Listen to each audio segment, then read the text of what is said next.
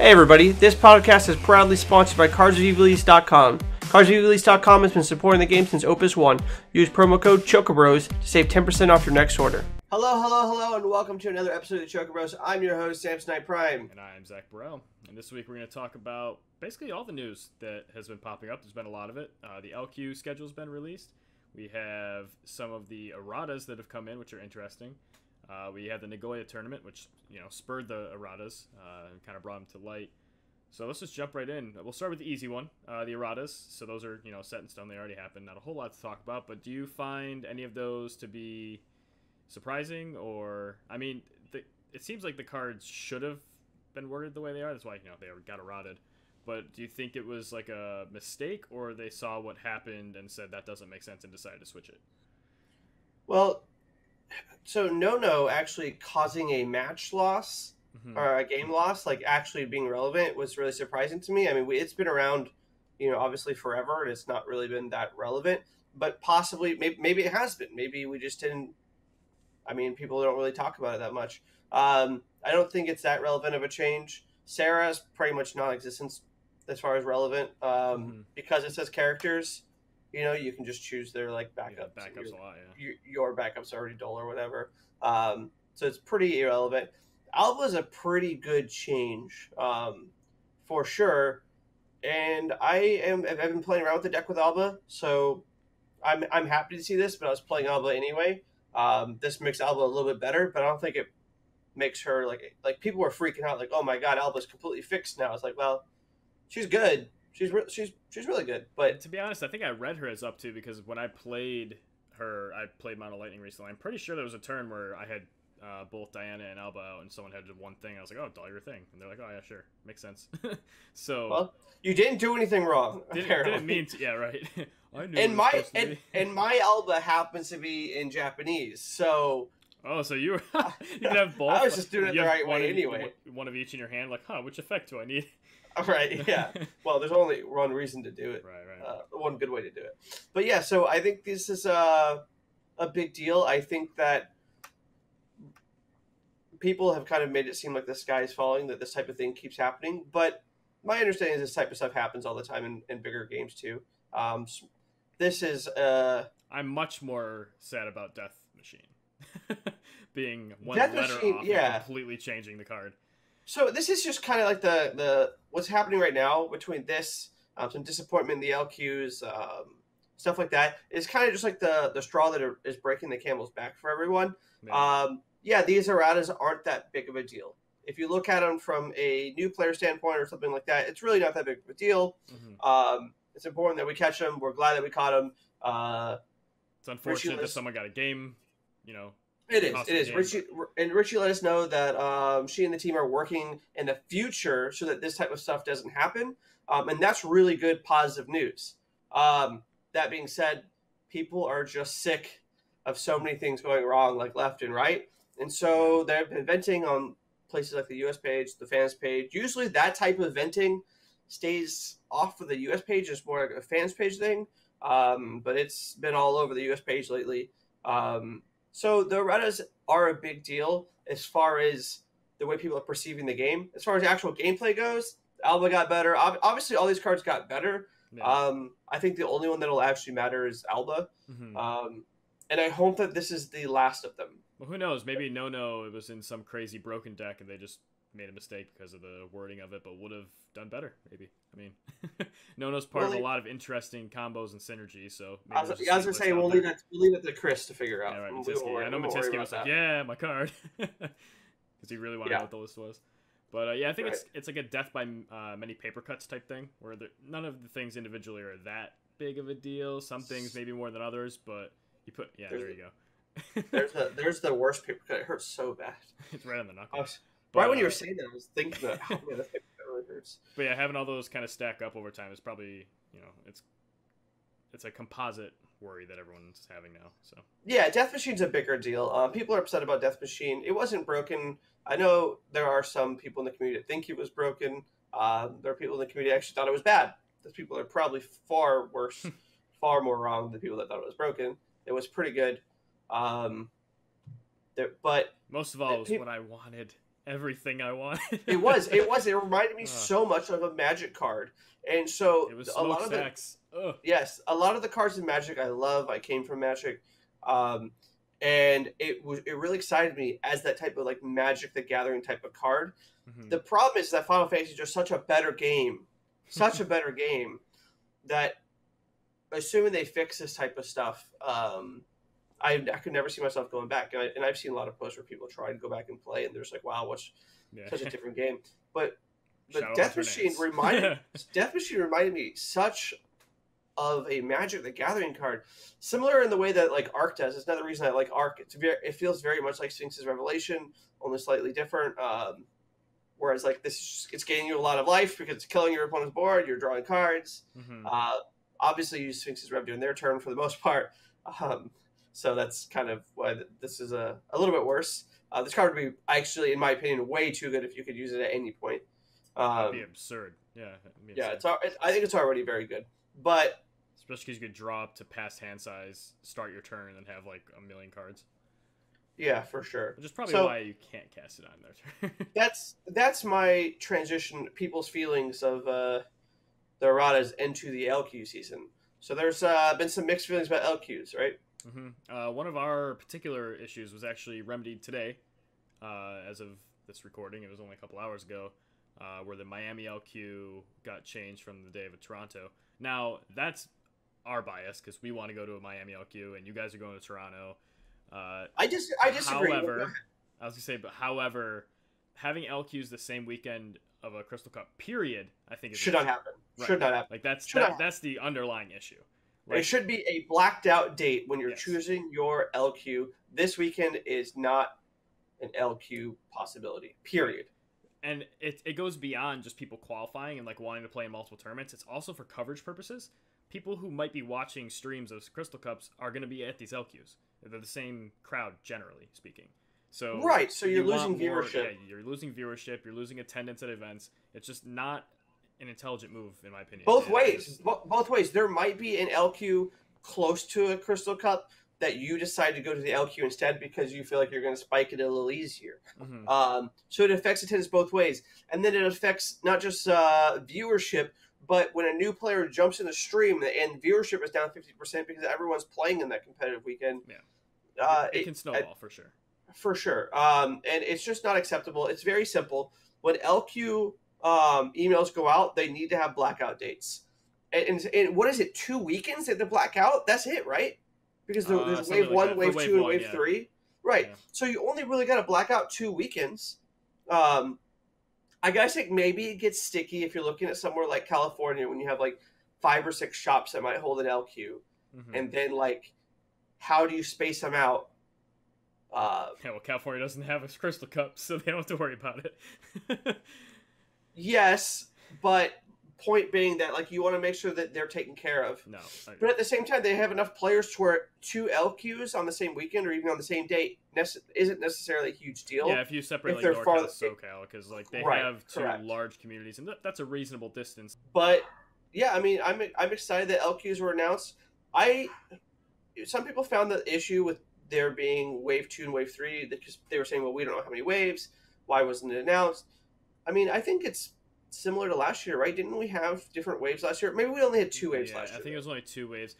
Like in their defense, I would like to know how many waves there are and like what the dates are going to be at least. Like the here's the first LQ, here's the last LQ. Like work with it, but eh, I think freaking out is a little much. Okay, but so like, again, that's fair. But also, this is this is the the the camel's back thing here because we still don't know about Gen Con. I listen. I can't touch that topic, so Does it frust- Does it frustrate you? like I- but but you're not the only one. But see, that's what I'm saying. So then, when you don't know what LQs are, so you can't request off for LQs. Like there's a whole rant we could have about the scheduling of all this, but like I actually have to know stuff like you know with with nationals coming up, so I can request off. Assuming I even make nationals. Um, who knows? The it depends on the number of waves we get. I understand that like like um, cities that had crystal cups didn't get wave one uh, LQs. I think that does not make any sense whatsoever. I can't even understand the logic of it because if the if the reason that we don't get an LQ is that you had a CC where four people could qualify, the pricing it the pricing at that the possible worlds invite draws so many people ar- ar- Yeah, it's around. not. It's not a local crystal. it's Cup. not a local qualifier. It's, It's, a, not. It's a It's- regional qualifier for the entire continent. It would literally be like if Magic was like, "Well, th- you guys aren't getting a PTQ because you had a, a, a GP." That would never happen. Yeah. that would never. You would never be excluded. And and to you know, Tampa could have played better. We should have played better. Miami should have played better. Orlando should have played better. But the fact is, is that no matter how close, you know, Ali, I got or Alex got, none of us received a, an invite to nationals. So we lost an LQ spot and never had a sh- and, and didn't. Get, I guess we had a shot at LQ uh, at nationals, but you get the point. We didn't take any spots for nationals, but we did lose an LQ spot. And even And- if even if the top four were all from Florida, it doesn't matter. It's pure. It's purely locational based. It's not the- right, like- right, right. So that's that's a It's opportunity based, not right. So I'm not trying to say it's correlated. right. I'm just or, or results based. I'm just simply saying that that's actually proof that it somewhat matters because people will travel for these events. There is a draw to them, and it's not just national qualification. It's the it's the first place trophy. Okay, that's cool, but it's really that that world's qualifying um, thing. Whereas I think last year, I don't think people made that big of a deal if if you didn't get an LQ because you got a CC. It's it's different. I think this year because of the draw of the CCs, um, it's a huge deal. hmm Um, and that so us not getting one because we had a LQ does not make any sense. And you know, places like Tampa, places like uh, Portland, we're gonna be watching to watch to, to see if places that got a CC during Wave Two get a Wave Two one. To you know, because that's, it just doesn't make any sense. Um, and maybe that's again that's just us being frustrated. Um, because we, especially Tampa, I have to say, we really pour a lot into this community. Yeah. Um, on all aspects of the game, we try to do what we can. So it's been frustrating. Yeah, I don't think I have anything to add without going into other topics like Gen Con and things like that that I wish were, you know, publicized already. But we'll leave that alone for now. uh, wait, sorry, what were you gonna say? I was just gonna ask if you're if you're going to Gen Con or you're not confirmed. I have tickets. I'm having some conversations to talk about possible housing. Have, although I'm actually a week late on a reply for that, so I gotta check in again. Uh, I want to go, but I need to know that there's a reason to get. Like if it's just like if the events are just first place worlds, that's an expensive LQ. So you're saying if if they were to offer national invites, I think if would- there's national invites, there's a lot more likely of a chance. I'm almost go. positive that there are no national. In fact, I know for a fact I read that there are no national invites. It's just literally two world spots for Two world assuming spots. first place of two separate tournaments. Correct. Oof. Uh, it'll Yeah. be it'll be a tough sell, but I, I- the event is awesome itself. But I mean, so is Yeah, but do you want to spend the whole time playing Final Fantasy if you're going to Gen Con? That's also yeah. Yeah. So, So- there, there's a lot of conversations with that, but I need to know more information before I can make a like Sure. final judgment call to see if it's like Sure. if it's a sweet like if I think I really like. I think if it was an awesome format, I might give it a shot just because it. Well, I mean, what I would like to see is like, hey, this is not finalized, but this is the format that we're thinking of. Um, we'll let you know if anything changes. yeah. But then you know people complain, oh, well, you Oh, told us it's going to be fair. this, and you switched it, and No, but you didn't. You said that this is not finalized. It may it may change. right. No, I agree. Just be upfront. Yeah. I agree. But uh, well, events that we know about and actually are finished, uh, the Nagoya Cup in Japan. Uh, what do you think? So we'll just start off at the first place list here. Uh, well, actually, I guess we should start off with the format. So it was Sure. a three-day tournament. Day one was six rounds. The first three rounds were with Deck A, and the fir- and the second three rounds were with Deck B. That's an interesting way to do it. I've never thought of, and it appears that they had Not a fan. Yeah, uh, neither am I. But uh, we, it look, it appears to be that they can't share cards. You know, so normal rules for when you pick multiple decks. well, but we only have one somewhat. deck to go based on. there it, it used to be kind of during the older formats where you could have one Sabin in one deck and two in another. Right. And this one, you can only if you have one Sabin in one deck, you can have zero in the other. Oh, really? Okay, I didn't know that. Correct. Okay. Uh, so yeah. Uh, So you- Veritas, for example, if you have two Veritas in one deck, you can have zero in the other. All right. So So what do you think of the first place list? We'll start there. Uh, so Kaka won. Uh, we know him Yep. from the first Worlds and many other Japanese and tournaments. for many many other Masters Did, tournaments. did he go to Worlds uh, last year as well? I believe so. I want to say that we were we had a bet on him. I, I think I think so. Yeah. Anyway, very accomplished player. Uh, he was on it appears Ice Fire, kind of a Final Fantasy six slash.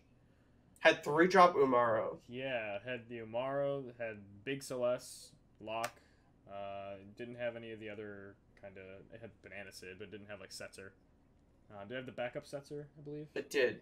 Yeah, of course. Hidden back there. Yeah. Uh, Cid Aulstyne, one of. Rinoa, one of. Genesis, one of. Duncan, one of. it's a pretty sweet, interesting list. What Sabin think of two of. Yeah, Sabin, two of. Cloud, two of. Cid Raines two of. But We it's got three going. last well, three Sephiroth, so. yeah, we're Yeah, I mean, I think the list is right good. I mean, to say it's good is very like, wow. I mean, it just won the tournament, so sure, it's probably good. Mhm. Um, I I mean, I don't know. It it seems all right. This is one of the kind of decks that we were testing against for the Tampa Crystal Cup. Mhm. Um, we were playing a little bit around with the three drop Cecil, uh, not Cecil, but uh, Celes. Yep. Um, I like Umaro, so yeah, I mean, I, I like this deck. I'm a fan of decks with Sephiroth. I believe that it's generally not a very good card, um, but you if you if you play it at the right time, you can just win the game. So it's one of the cards I fear the most. But then it's like, well, if they don't play at the right time, it literally does nothing. Or if you're able to play around it, sometimes you're able to play around it Mhm. by keeping your hand size at one or three. Um, obviously, they still get value at three, but like if you respond using those two cards with a summon or something like that, it can be pretty devastating. Like they just then they're only getting one card, yeah. seven. Well, they get no cards if you use the two cards to pay for the Oh, one. if you're using the two to pay for the one. yeah. right? Like if you were to Odin something else, like if you, you for for example, um, then they just got absolutely no value um, out of their Sephiroth, and they paid seven for an eight K. I Mhm. don't think you can recover from that. Like if the deck's firing, if most if both decks are firing on on decent cylinders, there, yeah, the So game's over. with. The other list was a Earth Wind Urianger list with one Urianger, one seven drop Phoenix, Luminous. I like how you called it a Vibranium. Urianger list. I, I well, I saw the Urianger, and then I Look, we can't call I- it a Phoenix list I or a glanced Urianger deck. I saw one Phoenix. It's like okay, I guess You can't even call it a, a Ur- uh, like um like I don't know what to call this Yeah, deck. I don't know either, but so there's a card in there. If I'm seeing it correctly, we're, we're gonna zoom in here. Oh, that okay. That's Noctis. Never mind. Were you thinking it was Warrior of Light? I thought it was the six drop Warrior of Light that brings back a standard unit, and I was gonna ask where the standard unit is. It's yeah. The the backgrounds are very similar, but but, okay, yeah, no, no, that's a that's the- a Noctis. it's okay. the one of Noctis Well, to go with the two Cecil and three Cactuar. It's an interesting list. Um, Uh, Three I- Hecaton, I respect it. Three Veritas for a sure. And and a chaos, so that's important to know that that a you've gone to yeah. five dark cards, which is a lot. But I, do you even count a Veritas when you're going over dark cards? Because really. like usually when you get cards stuck in your hand, it's the reason that dark sucks. And if you have cards stuck in your hand and it matters, it's because your opponent has forwards on the field. So you just like play your Veritas, and then the next they kill, and the next turn you play your Veritas, and you just rinse and repeat. So hmm I mean, I wouldn't play like five or six Veritas in my deck, but three seems very reasonable. I like So- that a lot of these Japanese lists, the uh, Earthwind ones, are running the Calbrena as well. I've always liked that card as a tech card. I just sometimes don't have the balls to play it. So, Sure, yeah, it's- yeah, it, There's some matchups that just don't enjoy that card. Like I'm yeah. Like most really water decks can't deal with it. Yeah, that too. Like ice, it's pretty decent against. I mean, they can dull it, sure, but for the most part, they have to. Right. They have to have the Duke out, but this deck also has Hecaton, so like you can just. And even then, like you block their Genesis all day. yeah. So So Yeah, I I mean- like the Calbrena. Luminous Puma, I mean, we've sure. seen that a lot of locals. We've been seeing it in tournaments. probably my more. second or third favorite card in the whole game right now. Actually, It's yeah, the options it gives, like instant speed specials, or just for like sure. uh, just a threat of an instant speed special. Yeah, or or being able to get like backups back Mhm. has been really relevant for me. Like, like especially in this deck where you're just carding your Shantotto earlier or like your, your Jito. Like, Actually, just like occurred to me you can uh, easily loop Minfilia with that card. Yeah. Uh, so you just go, you know, assuming you have a way to break it yeah, without true. There's not a easy way to break it here unless you're right, dudes. right. And I was surprised honestly that there there isn't an undead princess in this deck. Yeah, if there's an undead princess, that'd be pretty sweet with, uh, you know, Luminous Puma. If, uh, well, I guess if you want to loop those three, you know, it's got to be just those three. Right. But no, that's it's a sweet list. I like it. Uh, has the one of Mass Woman, which is close to our hearts. so, no, I, I like it. Uh, do we? Have you seen any of the other lists anywhere? I have not been able to find the rest of the top eight or. I haven't seen the list. I haven't heard like where the lists are or anything like that. If we want to flash over to the RVA Battlegrounds uh, Battlegrounds uh, event, I think it's interesting that um, Water uh, Lightning took first and second place there, Okay. And that's something really cool to look at. It, it's um, first place was Knights, which was like pretty awesome, and then second place is uh, Knights too, a little bit different build, but Are these on FF decks or where are these? they are on FF decks, and then uh, the the boys over at RVA, um, Oh, right. Also 57. posted them. Okay, I saw these. Yep. yeah, they're they're interesting. I like the the Garnet with the Medine in the deck. Um, there's just like some cool stuff going on in this deck. It's got the five drop Una, a lot of EX bursts, 17 EX bursts in this deck. With it's actually it's a 17 EX burst deck that's playing Lightning that's not playing Odin. Correct, because it's playing Rema, I guess, but Yeah. I could see easily playing Odin in this deck as well. This deck is really cool though. So really it's- interesting. It's a it's a lightning deck that's not playing Illua. So props to uh, cool stuff deck, Johnny Dryer. Yes, Yugiri props is an you. interesting card. I guess it, you can follow up Medine with sure. and just get like a damage in or something. Uh, for sure. huh.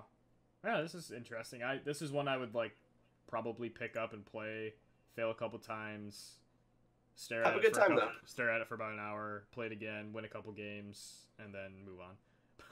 it's it's sweet, but man oh man. That's a that's a good analysis of what what happened with this deck. Yeah, it's it's good. It's cool. It looks fun. Like I'd be playing Uh, Medine and just asking myself why I'm not playing Warriors of Light or something.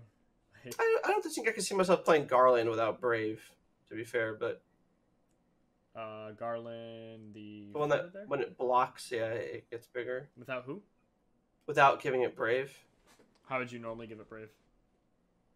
Um, in Earth. Oh, with Wall. Okay, gotcha. yeah, I mean, no, it's a sweet list though. I'm definitely not taking anything. for sure. I like no no. I like this list quite a bit. I find it interesting. All right, they're playing two Rufus with three Reno, but none of the other backups. So they're just all in on just those two. That's Well, the other one can't break itself, True. so you can't like do the Rufus combo. hmm So I mean, fact that in with the you you attack with the rain, trigger the thing, and then kill them with the rest of the combo seems pretty cool. But it's pretty sweet. I like this. yeah, the Yugiri is an interesting card that I've never tried. I think it's got to be there's a follow up to the Medine, right? Oh, actually, I didn't realize the other Water Lightning list is completely different. Oh yeah, it's it's another it's another Illua. Deck that has knights in it, but like I said, it's not a knights deck. It's different. It's more of a nine deck than anything. Yeah, so there's Illua, there's no Medine, there's no Yugiri, uh, it, there's no Agarius Searcher, there's a additional Cloud of Darkness. Yeah, these are fairly like they're very similar, but they're subtly different. For sure. Huh. Yeah. Oh, it doesn't have the Rufus uh, package with the turkey. Not at all, yeah. Interesting. Okay. So they're cool lists. There's a lot of cool stuff happening out there. Um, I do wish we had the the Japan list, but they're not in yet.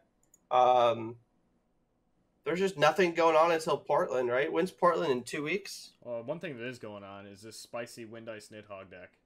did Oh, you, didn't you click it. on this one? Look at the No. backup line.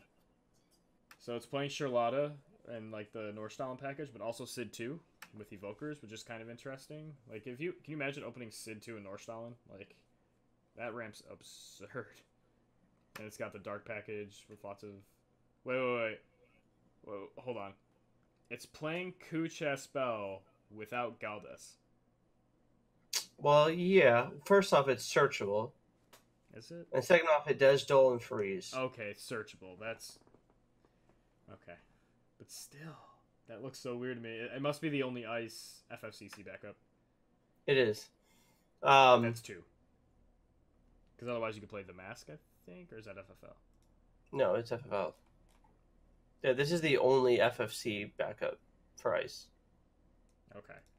Less, Yeah, I've, I've looked less into freaked before. out, but um, yeah, this deck seems really c- cool. Um, see, this is one where I would play it once, get my butt pushed in, then stare at it some more, and then play it for like I two would weeks. I would make some change. Yeah, I would make some changes in that. Like I would play, but you have Charlotta to cast Phoenix and Chaos to cast Phoenix. I would just jam three Phoenix, and then cut the the Fenas for Dark Fenas. Steep. Yeah, maybe. I don't You never know. What we really got to do is drop the dark and put in, well, Veritas is kind of a big loss, but put in some Yuna and some Valefor, the light Yuna. Yeah, I can see With that. the Fina. Mm. I could see you doing that specifically. now we're playing my style. Get to Valefor, Yeah. Sid 2. Ooh. but yeah, this deck is pretty cool. Be Maybe I'll play around with this more. Yeah. Hmm. Anyway, what were we saying? Anyway. No, I mean I don't know if there's anything else um, happening before Portland. My understanding is that there's not. Is that correct? I can't think of a particular event. Uh, no, okay, I'm sorry. One more list we gotta look at here: the ice water monsters, the ICW water monsters. Uh, that is somewhat familiar, except for the squall. That's a little weird. We were testing somewhat similar list to this for the Fire Crystal Cup. Uh, Um, except they've Cid Aulstyne without really. I mean, they have Scale Toad, I guess, but Skeleton's really good, but yeah, they're missing some. Like, where's Goblin? yeah, there's no Goblin. There's. I wonder if he lost to Bronze. Zidane because he didn't have a Goblin. That'd be interesting. uh, Adam, if you're listening, let us know. I want to know if Zidane's what killed you. Oh, on uh, the Stank list or Stonk. I can never Yeah. his last name, but that. I mean, I don't know if that's who he lost to. You're right, but like this deck seems very weak to. Turn one Zidane, yeah. I mean, you have Turn one Darlin if you want to like smash that down, but oh, That's there's still not good Tonberries, enough, but yeah. it's, yeah, it's not enough. No, anyway, sorry. I just that was uh, one that was kind of again close to our heart. so, Right. so Yeah, nothing so- until Portland. Uh, what? Yeah, I can't think of when is Portland. I don't know. Yeah, let's look it up. All right. Not today. No, You know, actually, actually, don't look it up. Watch this. I'm gonna, I'm gonna, I'm gonna do something freaky. Uh, you're not, you're. Uh, hold on. a second. Let me share my screen with you because I want, I want it to be live so it actually happens on camera. All right. Oh, we just got to see all your friends. Oh, Google flights. Oh, Tampa. Oh, this is my upcoming flight. Okay, that's fair. That's not what I wanted. to I want to see if it was just guess that I wanted to leave somewhere. All right, I'm gonna guess just because I Oh. swear they're so freaky. I'm gonna guess that it is somewhere between May 17th and May 20th. like, Uh, Portland, Oregon, right? So that's gonna be. What day were you guessing? May 17th through May 20th, like the Monday through Friday. So it would be May 18th and May 19th. Um, it appears to be May 11th and May 12th. Oh man, Google let me down. They want to fly me. They want to fly me there the weekend after. Usually, I swear when you when you pop. oh, up they something like hundred percent tell you. listen. We know this. Uh, so yeah, that's uh, gonna be in May in two weekends. So not this weekend, but the following weekend. So nothing major this weekend. Right. So um, we'll probably save our predictions for next week. Yeah. Um, when we have Cody with us, we are moving our schedules around um, Yes. so that we will be able to have this where all three of us um, are able to attend at the same time. So More consistently, anyway. Yeah. more consistently, at the very least. Which yeah. not saying a whole lot, but because it doesn't, not so consistent now. But Well, yeah, and there were reasons why we didn't want to. Oh, we 100%. delayed our cast for a little bit. Like Oh, you know. 100%. these, these issues that were happening was very hard to be positive about. So we're gonna we're gonna keep pushing on and uh, Oh, this next plane Imperio with Hraesvelgr and Veritas. Oh. Whew. no, That makes me happy. just another one of those from yeah, yeah. The Ice Lightning Cutie Patootie deck is what it's called. It's uh, Imperio searching Hraesvelgr or Zidane on entry, and then Veritas when it dies. Ooh, that's that- cute. That's pretty sweet. Anyway, so thanks for joining us. Um, we'll we'll see you guys next week again. Hopefully, we'll have the full cast next week. We Uh, will we have the have- full cast next week. There's no try. There's only two. Yes, Cody. yes, that's a good idea. That's a good idea too. Um, and then also something I wanted to talk to um, you guys kind of about, and I'll talk to Cody and Zach. Is that it'd be cool to have like a, a live stream of Portland. Um, just kind of uh, our our own little our own little separate uh, cast of it. Um, Oh, you mean like us fun. streaming the event?